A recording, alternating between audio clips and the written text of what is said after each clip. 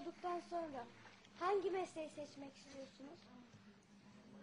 Ee, Futbolu bıraktıktan sonra bir kaleci hocalığı yapmak isterim mesela. Ya da bir lokanta falan açar. hani aşçılık yapmak isterim hani. Diyelim e, pazar pazar günü Samsun maçına çıktınız.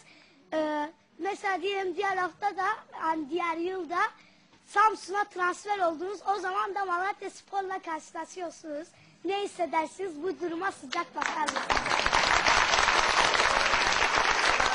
Her zaman yani karşılaştığımız, oynadığımız, tekrar rakip olduğumuz takımlar oldu. Yani ilk değil yani bu sonda olmaz yani devamlı bu camianın içinde olduğumuz sürece eski aradığımız takımlarla karşılaşmak zorunda kalıyoruz. Ya, profesyonel olduğumuz için bunu duygu olarak pek fazla sahada yaşamıyorsunuz. Ama tabii anılarınız, yaşadığınız o güzel günler, iyi günler aklınıza geldiği zaman duygulanıyor insan. Ya profesyonel olduğun zaman pek bunun farkına varmıyorsun sahada. Olsaydım herhalde öğretmen olmak isterdim.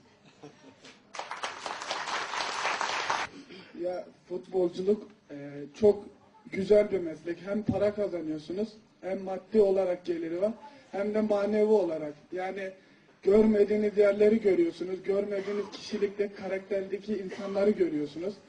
Yani çok güzel bir meslek. Onun için seçtik yani. Hem e, kişilik karakter olarak en iyi meslek hem de maddi anlamda en iyi meslek olduğu için seçtik yani. Malatya Spor'u yönetmekten, e, Malatya Spor'u teknik direktör olmaktan memnunsunuz. Daha önce üç, dört- yaklaşık 3 sene önce e, bir sene buradaydım. E, Aykut Kocaman'la beraber. O dönemde gerçekten güzel şeyler yaşadık. E, Aynı zamanda e, inanıyorum ki bundan sonra daha daha güzel şeyler e, hep beraber e, yaşatırız. E, Benim amacım burada uzun zamanda kalmak, aynı zamanda en kısa zamanda Malatyaspor'u Süper Lig'e taşımak. Malatya sporu hatta bütün sporları sever ama içinizden en çok sporu seven hangisi?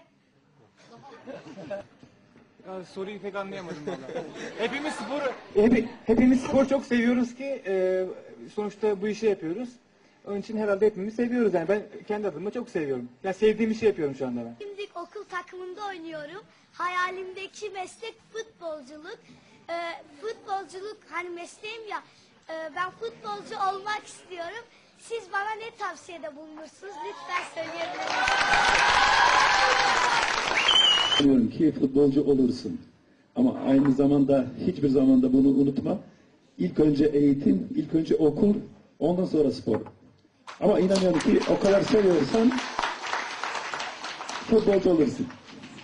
Tabii ki memnunum. Ee, Gerçekten şu anda iyi durumdayız. Ee, Ama inanıyorum ki ilerideki dönemke daha daha ileri doğru gitmek istiyoruz hep beraber. Erkeklerle bir takım olsa şiddet biraz olsa da? Ee, Caner abi. Bayanlarla erkekler aynı takımda mı? Yok var. Çok çok il- ilginç bir soru. Ya zaten bayanların e, statlara gelip maçı izlemesinde bile şiddetin azaldığını düşünüyorum. Kaldı ki oynamaya başladıklarında hiç olumsuz bir şey olacağını düşünmüyorum yani. Çok da iyi olur. Öğrencilik hayatınızda başarılı bir öğrenci misiniz? Pek başarılı bir öğrenci değildim. Onun da nedeni sürekli kamplarda oluşumuz. Eee, Fazla okula gidemiyordum. Eee, Zaten eee, Türkiye'de öyle bir sorun var yani eğer futbol eee, ve okulunuz üst düzeydeyse ikisini aynı anda yürütemiyorsunuz. Sonuçta ben bir tercih yapmak zorunda kaldım ve futbolculuğu tercih ettim.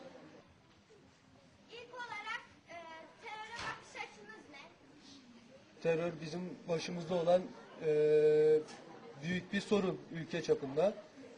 Eee, ama en kısa zamanda halledeceğimizi düşünüyorum terör konusunda. Gerçekten ordumuz çok güçlü bir ordu. Hiç korkuyor musunuz? Ya kafanız. İstanbul'da. Ee, tribün kale arkasına yakındı böyle. Bir tane çocuk bağırıyor böyle hani. Küfür ediyor bana arkadan tükürüyor böyle. Hani bir de ismim Emrah ya. Bir tane telefon şakası var. Onu yapıyor. Bir baktım şöyle arkama. Baktım su kokmaya başladı. yani oluyor böyle ya. Küfür de yiyoruz. Yani.